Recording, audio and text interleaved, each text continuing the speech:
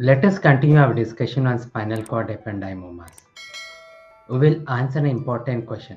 What are the survival rates after you treat a spinal cord ependymoma? So, what are the survival rates of spinal cord ependymoma? I'm Dr. Kalyan. I'm a neurosurgeon and spine surgeon. I work in Hyderabad in Aware Gleneagles Global Hospital. A brief introduction. This is an example of spinal cord ependymoma.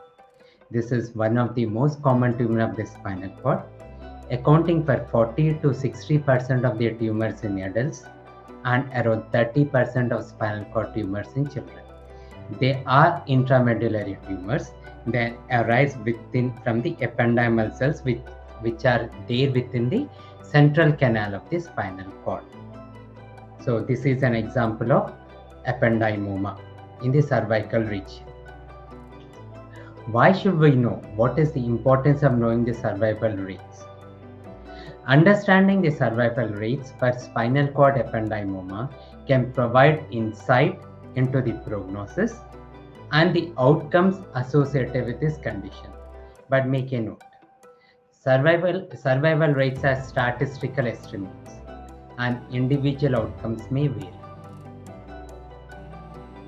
So, what are the important factors affecting cervical, uh, survival rates? One is the tumor grade. This is the most important factor affecting the survival rate. But equal important is the surgical resectability. Third one is the size of the tumor. I have not mentioned in the slide, in this slide, but size of the tumor also matters. And fourth one is the patient health and age. How does tumor grade affect the survival rate? Let's think about it.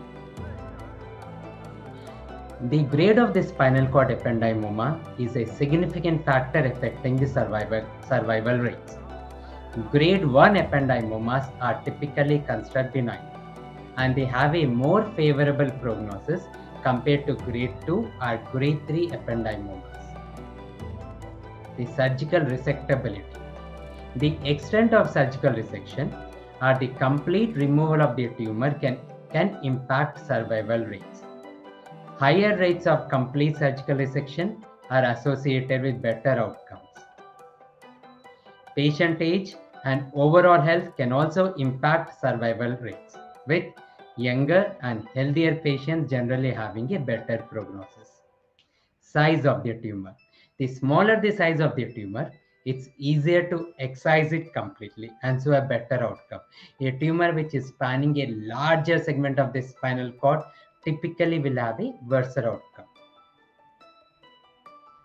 So let us come to each grade of tumor. So what are the cervical rates for a, for a patient who has grade 1 tumor? Grade 1 ependymomas are considered benign and they have a relatively favorable prognosis. The five-year survival rate for grade 1 spinal cord ependymoma with complete surgical resection is reported to be 80 to 90 percent. But other factors such as tumor location and patient-specific factors may also influence survival rates in individual cases. Grade 2 and grade 3. Grade 2 are intermediate grade tumors while grade 3 ependymomas are considered malignant. They have the worse outcome. They are cancerous. The five-year survival rate for grade 2 spinal cord ependymomas may range from 60 to 80 percent with complete surgical resection. The five-year survival rate for grade 3 spinal cord ependymomas may range from 30 to 60 percent even with aggressive treatment. Again, other factors play a role. So conclusion. The spinal cord ependymomas generally have a relatively favorable outcome. Compared to other spinal cord tumors like astrocytomas, ependymomas have a relatively favorable outcome. Factors such as tumor grade, extent of surgical resection, and patient-specific factors can impact survival, survival rates. Follow this one earlier earlier diagnosis at a lower grade a smaller size and a prompt surgical treatment to achieve safe maximal excision. They give the best outcome and more than 80 to 90% survival rate. It's crucial to consult a, a qualified healthcare professional for accurate, for accurate prognosis. Regular follow-up and monitoring are important for detecting any signs of recurrence or complications. As I keep on telling in each and every presentation of mine, it is very important to closely work with a qualified healthcare team for accurate prognosis, treatment, and management of spinal cord ependymoma or any other medical condition. This PowerPoint presentation provides a general overview and should not be considered as a medical advice. Thank you.